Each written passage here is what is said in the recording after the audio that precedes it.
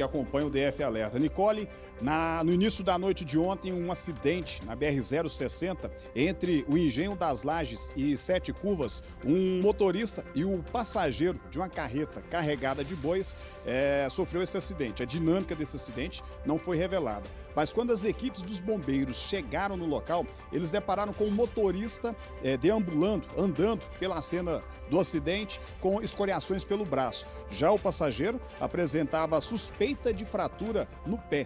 Os dois foram socorridos pelo serviço de ambulância da concessionária que administra a via, foram levados para o Hospital Regional do Gama. A Polícia Rodoviária Federal ficou responsável pelo registro do acidente no local. Os animais ficaram aos cuidados da concessionária que administra a via, Nicole.